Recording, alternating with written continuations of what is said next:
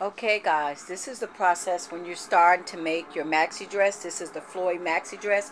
So I have my two pieces ready to get cut out and I have the back part on the fold of the fabric and then I have the front part of the of the dress not on a fold because I want two pieces if you guys can see so that this piece if it's sheer if you don't want to wear a bra you double the fabric in the front and you can just make it one in the back. So this is step one to making occasional maxi dresses. And make sure your scratch scratch from um, from right to left not up and down.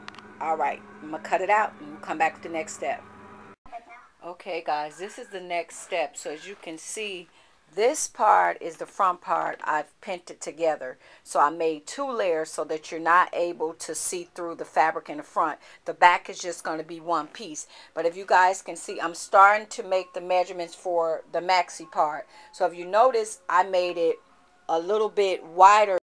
Okay guys, next step, I'm going to connect the top to the bottom. If you see, I got my pleats so I know what are connected sort of lined up. That's the next step. Alrighty.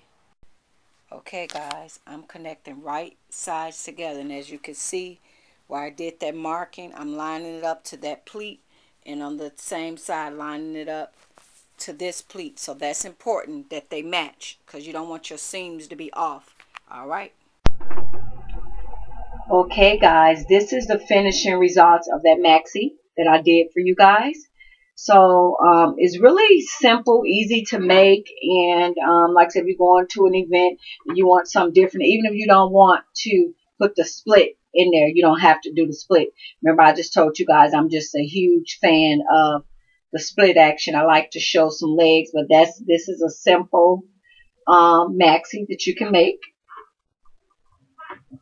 Follow those steps, guys, and you too can make beautiful maxi dresses at home.